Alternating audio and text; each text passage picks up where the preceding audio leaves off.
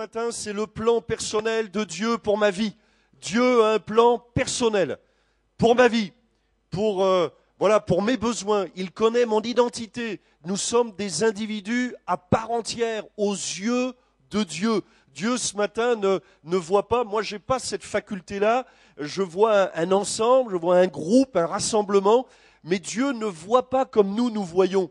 C'est ça, hein nous parfois quand on voit une foule, on, voit la foule, mais moi, je ne sais pas ce qu'il y a. Je, mes yeux me sont limités à ça. Euh, moi, je suis limité à voir des, visages, des têtes, euh, au mieux des cheveux quand il y a encore des cheveux, vous voyez. Mais, mais c'est tout. Mais Dieu, lui, ne voit pas une foule ce matin. Dieu euh, n'est pas là en train de dire, voilà, c'est l'église de Limoges. Non, Dieu voit des individus, des êtres à part entière. Et ça, c'est extrêmement important de le réaliser. Dieu n'a pas la même vision des choses que nous, nous avons. Nous, nous voyons l'apparence parce qu'on est limité humainement, c'est comme ça, nos yeux ne peuvent pas aller plus loin que ça, mais Dieu voit au-delà. Et j'aimerais que ce matin, on puisse s'approcher de Dieu et encore prier en réalisant qu'il y a comme il y a cette possibilité d'avoir un, face-à-face avec Dieu, un tête-à-tête avec Dieu. Oubliez tout le monde, oubliez tout le monde, mais placez-vous devant Dieu. Ça va? On ferme les yeux, on prie. Notre bon Père céleste, nous nous approchons de toi, ou plutôt je m'approche de toi, parce que j'ai des besoins, parce que j'ai des aspirations, et les uns et les autres, nous nous approchons de toi, à notre manière, avec nos besoins, avec nos souffrances, avec nos espoirs, avec nos déceptions, avec nos blessures, avec nos guérisons, mais nous nous approchons de toi, parce que nous avons soif de toi. Et je te réclame, Seigneur, dans cette matinée, une parole qui touche les cœurs, ou plutôt qui touche le cœur, de telle ou telle personne. Seigneur, tu es ce Dieu qui nous cherche. Tu es ce Dieu de proximité. Hein, tu es ce Dieu qui veut toucher les individus, l'individu. Seigneur, merci d'agir maintenant. Amen. Amen. Voilà, vous pouvez reprendre place. J'aimerais vous inviter à aller dans les Actes des Apôtres, chapitre 9, verset 10. On va parler d'Ananias. Vous savez qu'on a, on en a parlé plusieurs fois et j'aimerais continuer avec Ananias. Je l'aime bien, Ananias. J'aime bien. Bon, c'est comme ça. Hein. Voilà, acte 9, verset 10. Il y avait à Damas un disciple nommé Ananias. Le Seigneur lui dit dans une vision, Ananias. C'est beau ça, hein c'est beau hein, quand même. Hein, hein? Le Seigneur qui l'a... Ananias. Ananias. Vous voyez? Dieu ne, n'appelle pas et dit bah, tiens, il euh, y a quelqu'un. Non, c'est pas ça. Ananias. Il vient le chercher. Alors je ne sais pas où il en est, Ananias. C'est dans la journée, c'est euh, bon, est-ce qu'il est dans son lit, dans la salle de bain euh, Est-ce qu'il est, je ne sais pas, à la cuisine Est-ce qu'il est à son atelier Est-ce qu'il est occupé? Je ne sais pas. Toujours est-il que Dieu l'interpelle. Ananias. Il répondit Me voici, Seigneur. Et le Seigneur lui dit Lève-toi, va dans la rue qu'on appelle la droite, et cherche dans la maison de Judas un nommé Saul de Tarse, car il prie. Et il a vu en vision un homme du nom d'Ananias qui entrait et qui lui imposait les mains afin qu'il recouvrât la vue. Ananias répondit Seigneur, j'ai appris de plusieurs personnes tous les maux que cet homme a fait à tes saints dans Jérusalem. Et il a ici des pouvoirs de la part des principaux sacrificateurs pour lier tous ceux qui invoquent ton nom. Mais le Seigneur lui dit Va, car cet homme est un instrument que j'ai choisi pour porter mon nom devant les nations, devant les rois et devant les fils d'Israël. Et je lui montrerai tout ce qu'il doit souffrir pour mon nom. Ananias sortit, et lorsqu'il fut arrivé dans la maison, il imposa les mains à Saul en disant Saul, mon frère, le Seigneur Jésus qui t'est apparu sur le chemin par lequel tu venais, m'a envoyé pour que tu recouvres la vue et que tu sois rempli du Saint-Esprit. Au même instant, il tomba de ses yeux comme des écailles, et il recouvra la vue, il se leva et fut baptisé. Amen. Nous avons là, je trouve, un, bel exemple de ce que Dieu veut faire, de ce que Dieu peut faire. Et il y a là une rencontre. On pourrait dire euh, humainement, si nous, on avait assisté à cette rencontre entre Ananias et Saul de Tarse, si on avait rencontré, euh, je ne sais pas, si on avait suivi Ananias qui sort de sa maison, qui va dans la rue appeler la droite, qui rentre dans la maison de, comment il s'appelle la maison de, Judas. Voilà, qui rentre dans la maison de Judas et puis qui cherche. Alors je ne sais pas, est-ce qu'il a toqué à la porte? Euh, j'ai remarqué que dans le domaine de l'évangélisation, du témoignage, Dieu donne des directions, mais Dieu ne dit pas tout. Vous avez remarqué? Dieu dit, voilà, euh, moi je mets à cœur, sur ton cœur, voilà, il y, a, un homme qui prie. Saul de Tars, il prie. Alors je t'indique par où il faut aller. Il faut aller euh, dans la rue, appeler la droite, et on va voir ce que ça signifie.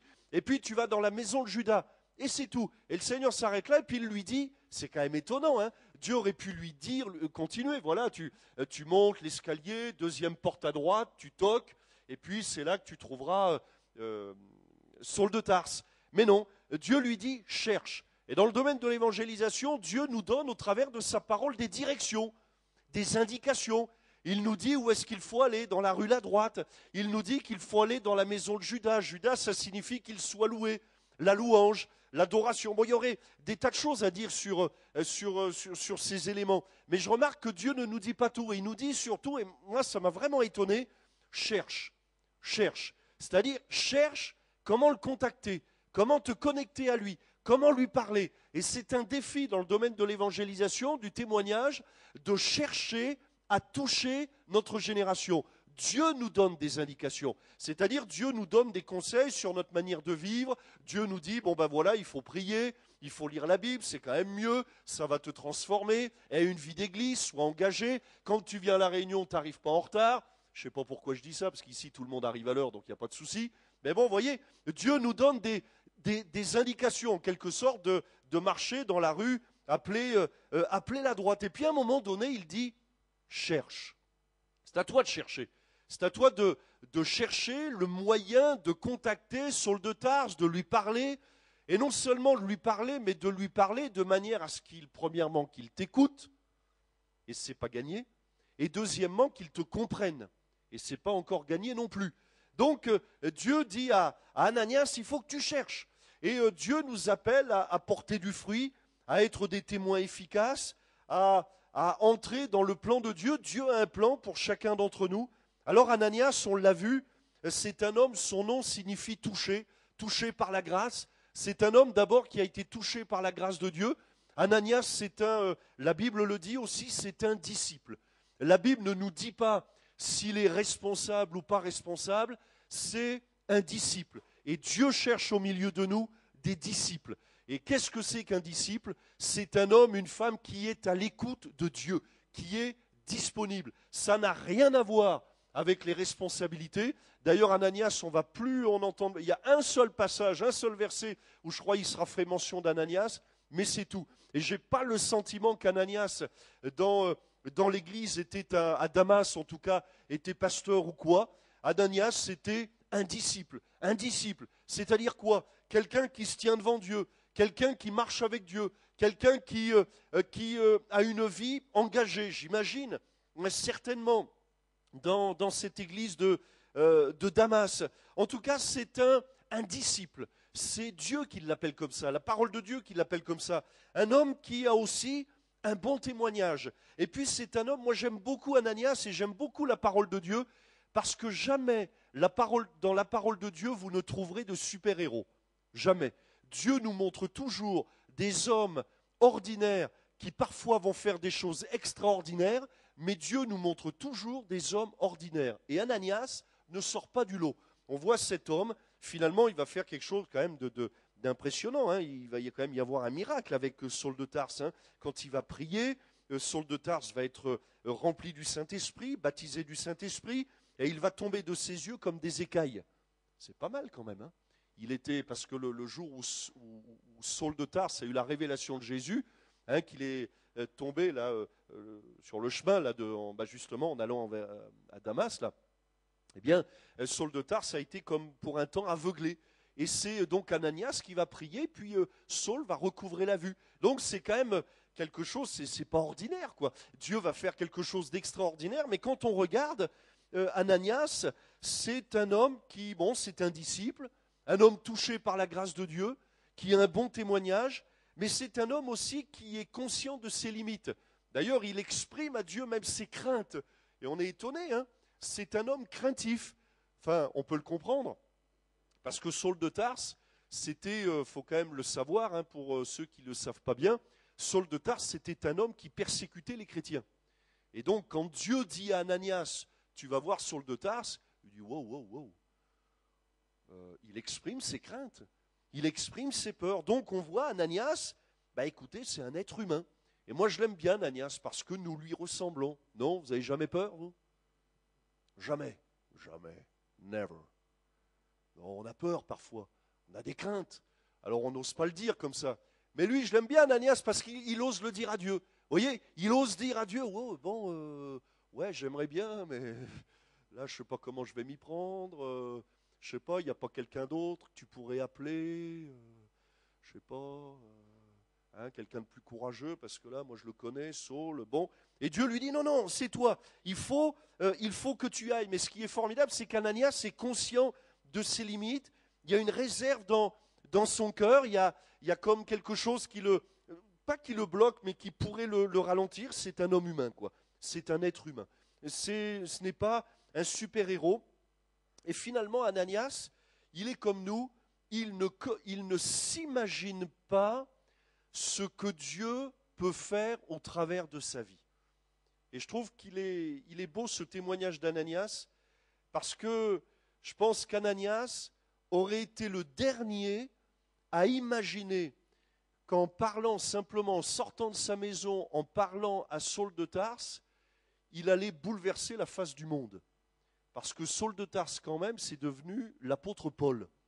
Hein et on prêche, les prédicateurs, les pasteurs, tout ça, et puis, les chrétiens, on lit euh, euh, la plupart des écrits du Nouveau Testament, ça vient de Paul. La, théologie, on parle de théologie, tout ça. Bon, euh, tout ça, ça a été mis en place par l'apôtre Paul.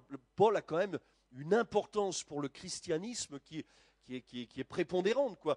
Si on retire du Nouveau Testament tous les écrits de Paul, ben, il reste plus grand-chose. Hein il reste les quatre évangiles, euh, il reste l'Apocalypse, il reste le, bon, les actes des apôtres, et puis toutes les épîtres, Romains, tout ça qui nous explique la doctrine de la croix, tout ça, le salut.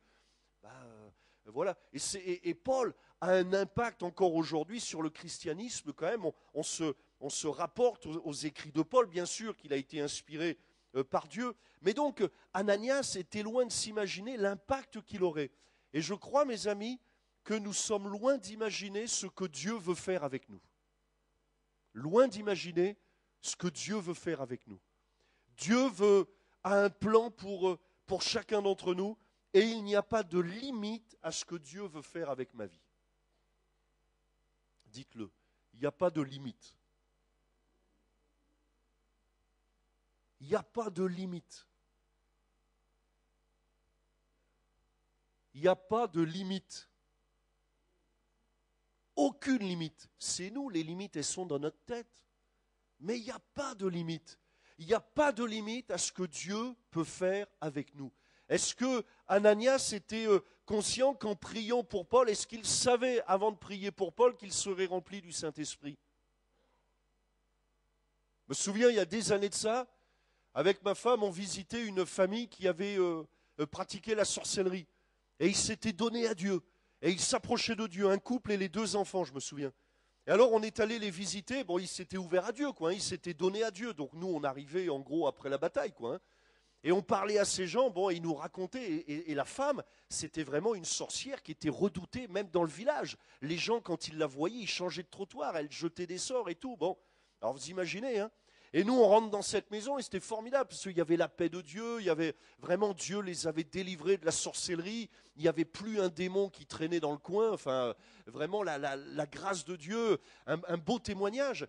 Et je me souviens, moi je, les visite, j'étais tout jeune, euh, j'étais même pas pasteur, j'étais encore stagiaire et euh, tout jeune prédicateur et, je faisais la visite type, vous savez, la visite type pastorale. Hein.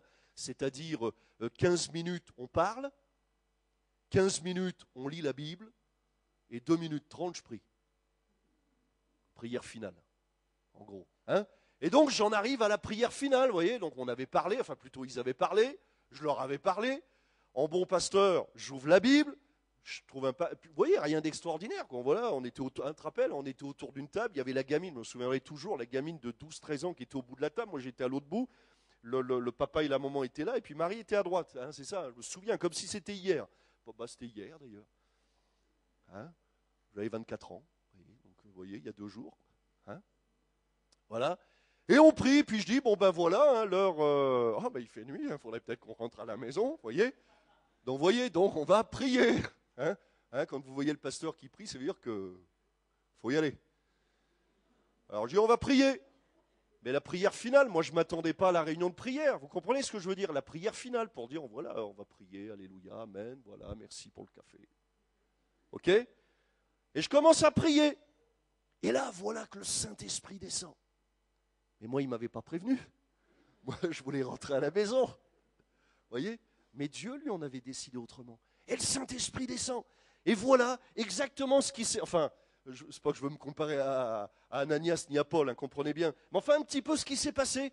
Voilà que le père et la mère commencent à parler en langue, baptisés du, Saint-Esprit. Et la gamine, alors elle, j'ai cru qu'elle euh, euh, allait faire de la lévitation même, hein, tellement elle était remplie du Saint-Esprit remplie du Saint-Esprit. Et elle commençait à parler en langue, parler en langue, parler en langue. Alors, à parler tellement en langue. Écoutez bien, elle était, vous savez, comme des flots comme des flots. Vous voyez, vraiment, euh, moi j'avais l'impression que c'était tout l'océan qui se déversait là. Hein. Des flots, elle parlait, bouleversée la gamine.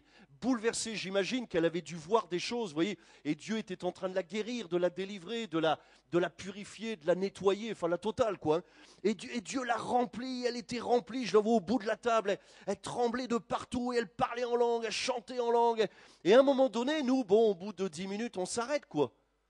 Et moi je dis, bon, ben, hein et elle, est continue. Je ne savais plus quoi faire. Il faudrait peut-être euh, peut un, robinet quelque part. Vous voyez Mais jamais on n'aurait pu imaginer. Vous voyez ce que je veux dire? C'est que j'étais. Ce que je veux vous dire, c'est qu'on n'était pas venu dans cette famille pour dire bon voilà comment ça va se passer. Hein. Au moment, je, préviens mon épouse, Marie, hein, au moment où je vais prier, clac, on ouvre le robinet, ça descend, d'abord lui, ensuite elle, ensuite la gamine. À peu près 20 minutes, on coupe le robinet, on rentre à la maison. C'est pas comme ça que ça se passe. Dieu nous dépasse. Il n'y a pas de limite à ce que Dieu peut faire. Et cette expérience, je vous l'avoue humblement, je ne l'ai jamais revue. Enfin, je, euh, euh, revu un baptême du Saint-Esprit comme ça. Jamais. Je ne peux pas vous expliquer pourquoi. C'était comme ça. Il fallait certainement que cette jeune fille, elle, ait une expérience qui marque sa vie. Moi, je ne sais pas, après on a perdu le contact. Hein. Je ne sais pas ce qu'elle est devenue. Mais j'imagine qu'il fallait que sa vie soit marquée. Mais Dieu nous dépasse. Il n'y a pas de limite à ce que Dieu peut faire, à ce que Dieu veut faire. Vous voyez, dans une salle à manger, dans une maison, on pourrait dire, ouais, c'était la maison, il y a eu de la sorcellerie, et alors? Là où le nom de Jésus est invoqué, c'est le nom de Jésus qui est élevé au-dessus de tout autre nom. Pourtant, quelques jours avant, c'était les démons qui mangeaient autour de la table. Mais là, c'est le Saint-Esprit qui a soufflé. Parce que quand on invoque le nom de Jésus, c'est les démons qui reculent. Et ce jour-là, c'est Dieu qui a eu le dernier mot. Et c'est Dieu euh, qui a le dernier mot. Donc, euh, il y a cet appel. Alors, euh, pour Ananias, il y a cet appel à se lever. Le Seigneur lui dit dans une vision, Ananias. Il répondit, Me voici, Seigneur. Et le Seigneur lui dit, Lève-toi, va dans la rue qu'on appelle la droite. Et cet appel, il résonne au fond dans chaque euh, cœur d'enfant de Dieu. Il y a cet appel qui résonne en nous. Et parfois, on ne sait pas trop comment y répondre. Mais soyons honnêtes, il y a cet appel qui résonne au fond de notre cœur. Lève-toi, fais quelque chose. Il faut que tu sois efficace, que tu portes du fruit. Et Ananias, lui, il répond, comme j'imagine la plupart d'entre nous, ben me voici, Seigneur. Et donc Dieu lui donne des indications, lève-toi. Donc Dieu ne cherche pas des spectateurs. Le grand défi de l'Église aujourd'hui, c'est qu'il y a trop de spectateurs dans les églises. Et on devient, sans s'en rendre compte, des églises religieuses. La religion, c'est quoi? La religion, c'est euh, on, vient pour, on fait du remplissage de chaises. Voilà, on remplit les chaises, même pas à l'heure encore. Alors la chaise, elle n'est pas contente parce qu'elle nous attend à 10 heures. Alors elle, il n'y a pas son quota. Elle, on doit être assis sur elle pendant deux heures. Ah bah oui, mais j'arrive en... Bon. bon, je plaisante un peu, mais sans trop plaisanter, quoi. Vous voyez, mais c'est un défi pour les églises. C'est un défi aussi, et j'aimerais aussi parler du, fait que l'Église, finalement, euh, comment vous dire ça? Dieu se sert de l'Église, mais je crois que trop d'enfants de Dieu se cachent derrière l'Église pour plus rien faire. Ouais, c'est l'Église qui fait, mais ça veut dire quoi l'Église? Voyez ce que je veux dire Par exemple, on va dire, ouais, c'est l'Église qui évangélise. Mais qui évangélise? Alors ça, veut dire quoi? En gros, ça veut dire quoi? Ben, On laisse le pasteur prêcher, il se débrouille. Hein, souvent, ça revient à ça, quoi. Soyons honnêtes. Ça revient à ça. Mais c'est pas ça l'Église. D'ailleurs, avez-vous remarqué dans ce texte, et moi ça m'a interpellé, hein, je vous avoue, hein, Dieu, on ne voit pas une fois mentionner l'Église dans cette histoire-là. Est-ce qu'il est écrit Dieu a appelé l'Église de Damas? Non. La Bible nous dit Dieu a interpellé un homme pour toucher un homme. Et Dieu cherche des hommes, enfin y compris des femmes, hein, pour toucher des hommes, y compris des femmes. Voyez? Et parfois on se cache derrière l'Église. Ah bah oui, mais l'Église fait, du coup je fais rien. Et ça, c'est quand même un gros défi. Et vous voyez, Dieu cherche des spectateurs. Pardon, des acteurs. J'espère que je n'ai pas prophétisé. Dieu cherche des acteurs. voyez, tellement je suis traumatisé. Dieu cherche des acteurs et pas des spectateurs. Des intercesseurs, des témoins, des adorateurs. Ananias, c'est un homme, on l'a vu plusieurs fois, on n'entend pas parler du passé d'Ananias. Et certainement, Ananias, ouais, parfois on, a l'impression, il n'y a que nous, il n'y a que moi, bon, mais tout le monde a, a vécu des choses difficiles. Hein. Mais Ananias, il ne se laisse pas arrêter. Il a certainement ses blessures, ses drames, ses bonnes, ses mauvaises expériences, bon. Mais Ananias, il a compris qu'il vit sa vie aujourd'hui. D'ailleurs, avez-vous remarqué que dans la Bible, souvent, Dieu nous dit c'est aujourd'hui. C'est aujourd'hui le jour du salut. C'est aujourd'hui qu'il faut s'approcher. C'est aujourd'hui que la porte est ouverte. Dieu, un avenir. C'est rare quand Dieu nous, nous dit de regarder vers le passé, ou alors il nous dit, bon, il faut, régler le passé pour aller de l'avant. Il faut combattre le bon combat de la foi. Et donc, euh, euh, Ananias se laisse aussi remplir du Saint-Esprit. Il est appelé à se lever, comme chacun d'entre nous. Et puis Dieu lui donne une direction. Il faut que tu ailles dans la rue appelée la droite. Alors on sait ce que c'est la rue appelée la droite. Hein. Ça veut dire marcher droit dans ses bottes. Vous avez remarqué qu'en ce moment, les hommes politiques, ils utilisent beaucoup cette expression? Je suis droit dans mes bottes, dans mes bottes. Parfois, de certains, plus ils le disent, moins on, est à l'aise. Hein, plus on a l'impression qu'il y a quelque chose de tordant. Je ne veux pas aller plus loin, c'est comme ça. Mais en tout cas, Ananias, Dieu lui dit, il faut aller dans la rue la droite, c'est-à-dire marcher droit dans les bottes, c'est-à-dire euh, Dieu te demande, voilà, d'être, euh, pas d'être un super-héros, mais de vivre ta vie chrétienne comme un chrétien, quoi. Voilà, d'être authentique. La Bible nous dit le témoin véridique des livres des âmes. Vous savez, les Limougeaux ou les Français, ils n'ont pas besoin d'église, je vais vous dire. Ce pas des églises qu'ils recherchent. Hein. C'est des enfants de Dieu authentiques. D'abord parce que quand vous parlez à quelqu'un de la rue de l'église, ça a peut-être déjà une mauvaise connotation. On parle peut-être pas de la même chose. Mais peu importe. Mais ce que les, les hommes recherchent, c'est des enfants de Dieu qui ont un témoignage, un témoignage véritable. Et Saul de Tarse, il avait besoin d'entendre la prière. Vous savez, moi je, me mets aussi à la place de Saul de Tarse. Saul de Tarse, c'était un homme, euh, il était zélé, euh, c'était un persécuteur de chrétiens, il était zélé, il était convaincu qu'il avait raison. Hein. Il était convaincu que c'était un religieux, mais on, pourrait dire un, extrémiste. C'était un fanatique, hein, euh, Saul de Tarse. Et puis à un moment donné, il fait ça pendant des années. Et puis il est, élevé, il est enseigné comme ça. Il faut, waouh, faut, tu vois, il faut taper sur les chrétiens, il faut les exterminer, il faut les lapider, il faut les tuer, il faut les. Bon, il est, il est élevé comme ça. Et un jour, il est sur le chemin de Damas, et puis Jésus se révèle à lui. Et ce qui est extraordinaire, c'est que lui, cet homme religieux, il est interpellé par Jésus, mais il ne sait même pas qui est Jésus, mais qui es-tu, Seigneur? Voyez? Et il réalise. Et là, les yeux s'ouvrent pour le coup, mais ses yeux spirituels. Ses yeux s'ouvrent. Il réalise qui est Jésus. Mais en même temps, imaginez, il réalise toutes ses bêtises, toutes ses erreurs. Et euh, je l'imagine chez lui, là, dans la maison de. Oh, j'arrive pas le retenir. Dans la maison de Judas. Dans la maison de Judas. Alors, je sais pas, il est peut-être en location, sous location, je sais pas. Bon. Peut-être hébergé, bon, je sais pas. Mais moi, je l'imagine un petit peu cloîtré dans sa, dans sa chambre, en se demandant bon, bon, mais c'est bien, moi j'ai la révélation de Jésus, je marche avec Jésus, mais si je vais dans une église, comment va se passer le service d'accueil? Quand hein, C'est vrai, quoi. Hein quand ils vont voir Saül, le persécuteur, Saul, le persécuteur qui arrive.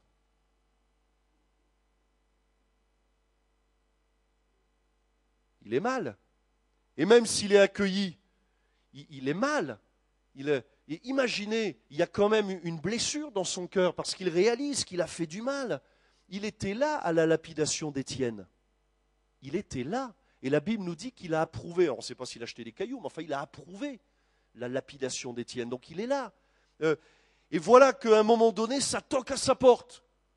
Il ouvre la porte. Et voilà qu'il tombe, il voit Ananias. Il dit, oh là, c'est quoi ça y est, un fou, un chrétien qui vient me voir. Mais lui, pour qu'il vienne me voir, il est fada. Et Ananias, qui dit à Saul, mon frère. Imaginez Mon frère. Après tout, euh, Ananias aurait pu le saluer en disant euh, bonjour, monsieur. Vous, enfin, vous allez vous asseoir déjà. Il n'y a pas d'armes chez vous? Tout va bien? Je suis venu avec le pasteur, les anciens, puis les anciens de toutes les églises du coin. On est 25 à peu près pour vous visiter. Et il est tout seul, Ananias. Il est tout seul. Et il va l'appeler mon frère. Et eh bien c'est de ça que les hommes et les femmes euh, nos contemporains ont besoin des chrétiens authentiques. C'est-à-dire que moi je suis sûr que Saul de Tarse, qui a touché son cœur, c'est de voir un homme qui l'aime, qui l'accepte comme son frère. Parce que rien que ce mot, mon frère, ça veut dire on t'a pardonné, t'es excusé, c'est effacé, ton passé, on tient plus compte de. T'es plus Saul le persécuteur, t'es mon frère. Vous imaginez un petit peu? Rien que ces mots, c'est important les mots, hein. Rien que ces deux mots, mon frère, ça, ce sont des mots qui contiennent la guérison. Une délivrance. Rien que ces mots-là. Et je ne parle même pas de l'aspect spirituel, hein, invoquer le nom de Jésus, tout ça, mais mon frère. Rien que ça. Ça veut dire que Saul de Tarse, s'il a ce jour-là en face de lui quelqu'un dont il peut dire celui-là, c'est un vrai. C'est pas quelqu'un qui vient au culte le matin et puis qui va faire le tiercé l'après-midi. C'est un vrai il est authentique. Parce qu'il m'a appelé mon frère. Pourtant, il me connaît. Il sait, Saul était très, était très connu. Hein. C'était quand même un homme public, qui était connu. Et donc, Ananias, c'est un homme droit, juste, vrai, sincère. Et donc, sa prière, elle est utile, elle est, euh, efficace. Et euh, Ananias, il met ses talents, son talent, au service de Dieu. Et voilà qu'il y a cet appel qui résonne dans notre cœur. Dieu nous appelle à mettre nos talents au service de Dieu. Euh, le deuxième point, c'est que le témoin est délivré. Ananias, verset 17, sortit et lorsqu'il fut arrivé dans la, maison, il imposa les mains à Saul en disant Saul mon frère. Donc lui aussi, il est délivré. Ananias, il est délivré de cette vision qu'il avait de, de Saul de Tarse. Il regarde de l'avant et Dieu veut nous libérer du passé. Il y a parfois des choses que nous accumulons qui, euh, euh, nous qui nous ensevelissent, qui nous paralysent, qui nous aveuglent. Et Ananias, il va de l'avant, il regarde ce meurtrier, euh, mais ça c'est le regard du passé. Mais le regard de Dieu, c'est qu'il voit un frère. Vous imaginez? C'est pas simple l'histoire. Hein. Nous, on lit le verset comme ça, on passe très vite. Saul, mon frère, euh, voilà, le Seigneur, là, machin, ça se passait, je prie pour toi, tu es baptisé de Saint-Esprit et tout va bien. Mais ce n'est pas si simple la situation. Parce que quand même, Dieu lui demande d'aller euh, chez Saul.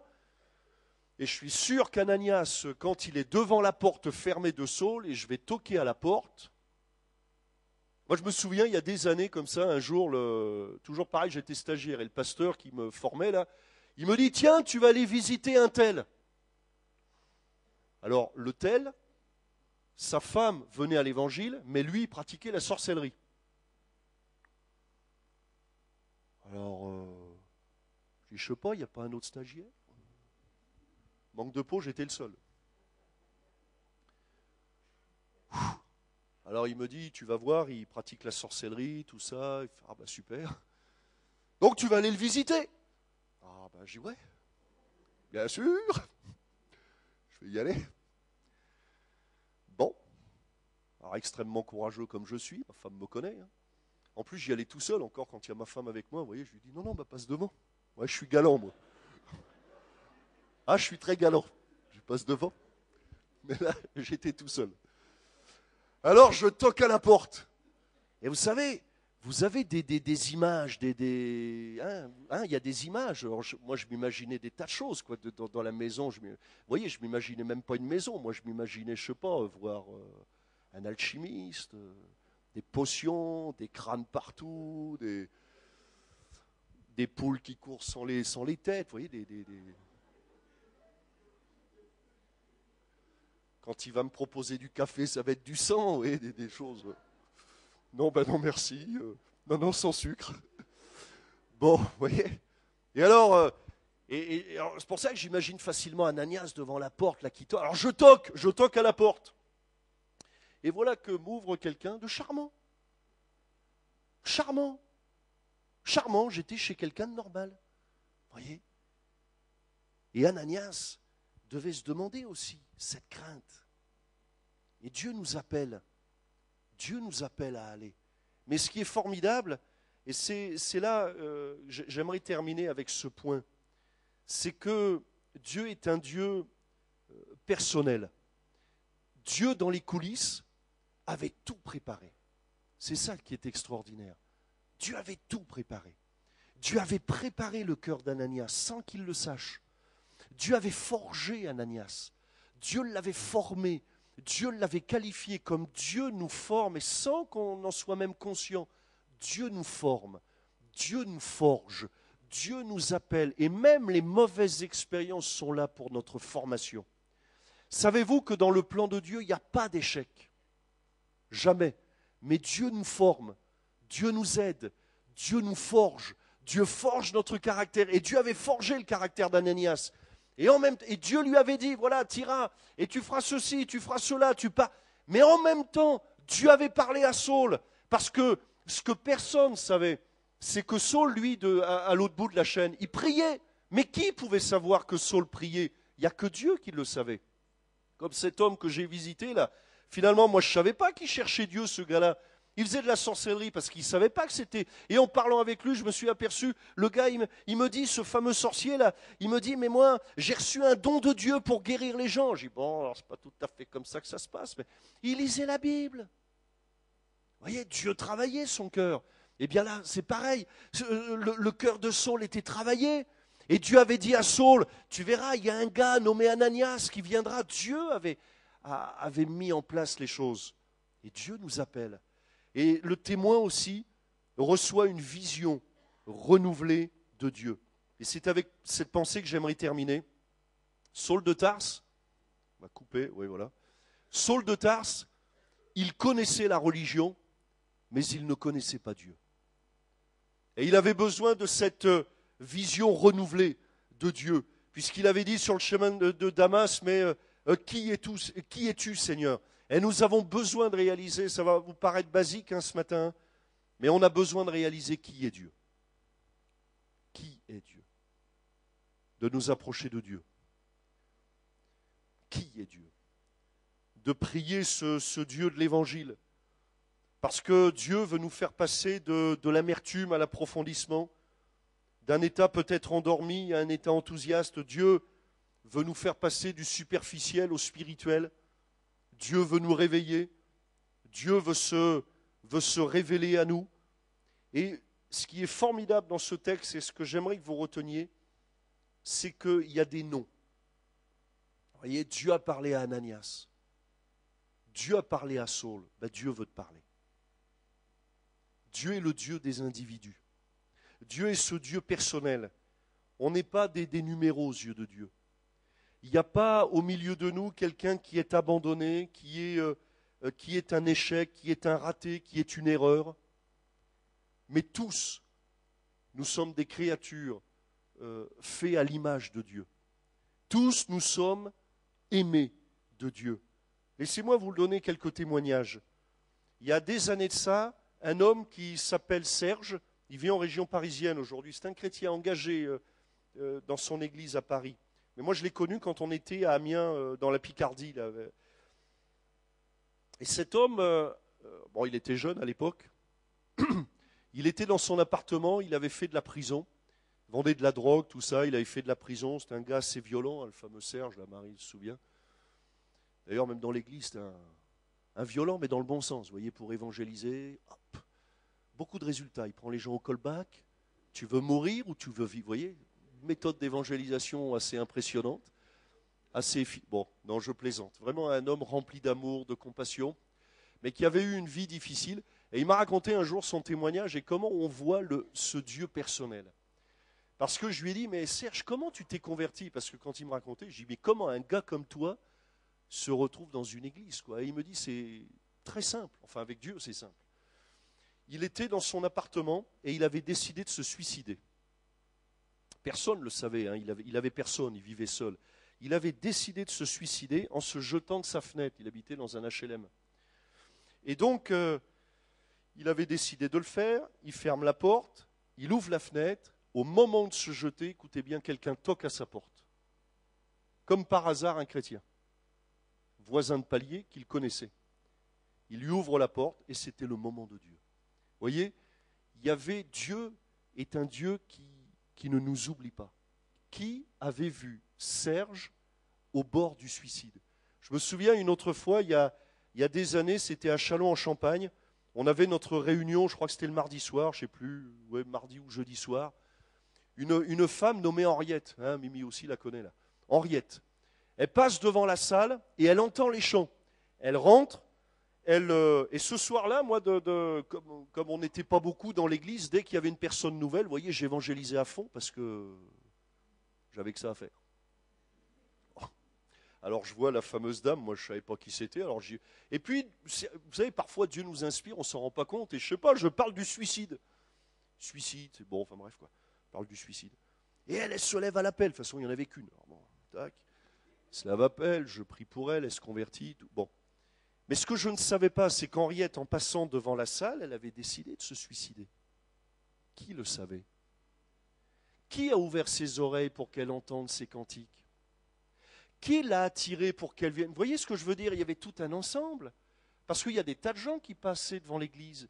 Il y a des tas de gens qui passent sans s'arrêter. Il y a des tas de gens qui n'entendent rien, qui n'écoutent rien. Il y a même des gens qui sont ici qui n'écoutent rien quand même. Mais qui l'a attiré? Qui l'a amené? Et puis qui a inspiré le gars là pour qu'il parle du suicide? Dieu connaissait. Moi je ne la connaissais pas, je ne l'avais jamais vue. Mais Dieu connaissait. Et j'aimerais que vous soyez rassurés, Dieu vous connaît. Et Dieu a des paroles pour vous.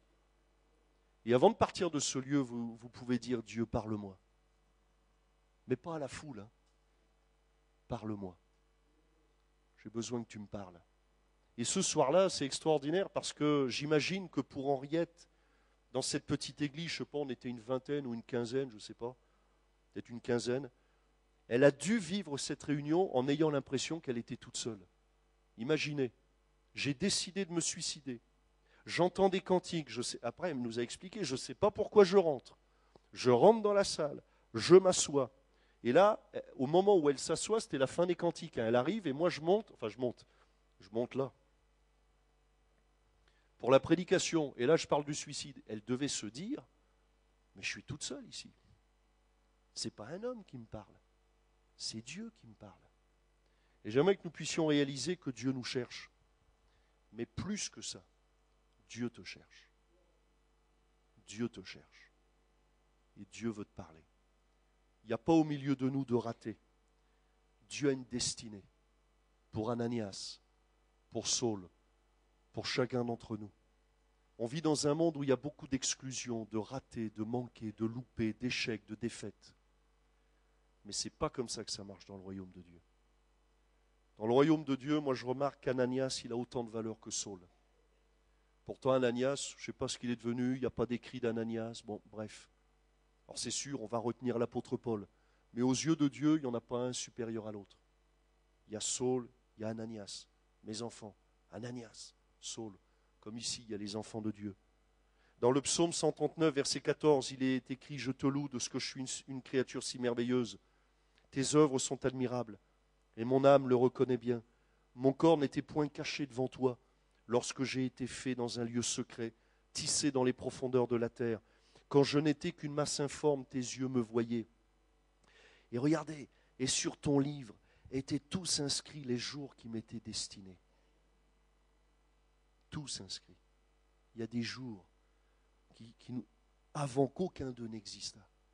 Tu as des projets, tu as des bénédictions, tu as des paroles, des guérisons, des délivrances. Il n'y a personne ici qui est un raté. Personne ici qui peut dire je suis un échec. Mais Dieu nous aime tous de la même manière. Et puis, euh, il y a ce psaume 31, verset 16. Et que ce soit votre prière, mes destinées sont dans tes mains.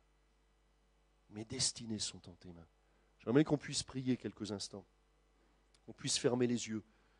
Et j'aimerais faire un appel. Alors un appel à qui?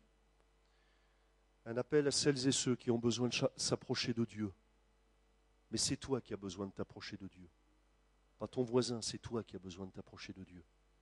Faire un appel à celui qui a besoin de recevoir une parole de Dieu. Faire un appel à celui qui a besoin d'une guérison. Faire un appel pour celui qui a besoin d'une délivrance.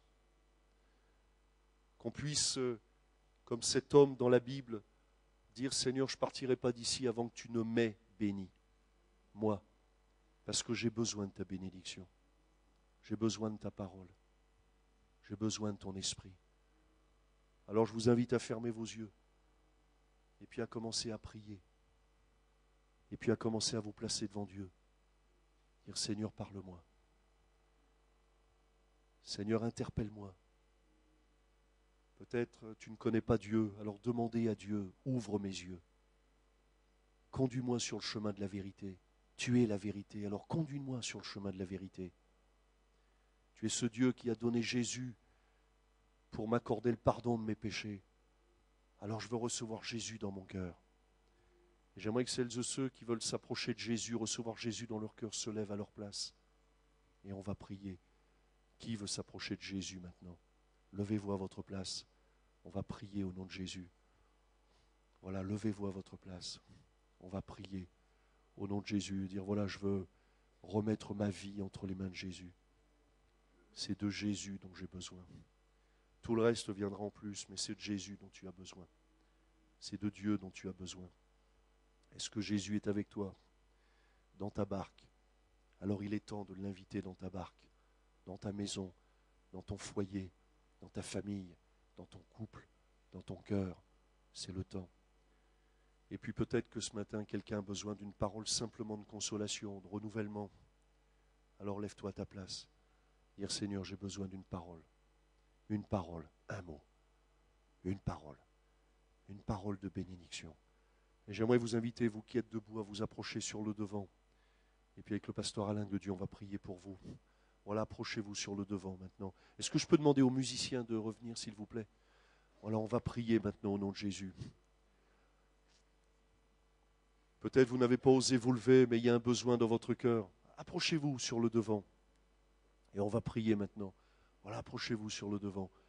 On va prier pour vous au nom de Jésus. Besoin d'une parole. Besoin simplement que Dieu me parle. Parfois c'est de ça qu'on a besoin, tout simplement de se souvenir que Dieu m'a pas oublié. Peut-être c'est de ça que tu as besoin, de te souvenir que Dieu ne t'a pas oublié.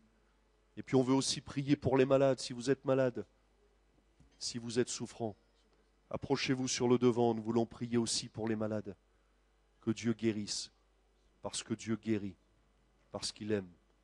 Dieu bénit, Dieu renouvelle, Dieu remplit. Vous qui êtes debout là sur le devant, commencez à prier. Placez-vous face à Dieu. C'est devant Dieu que ça se passe.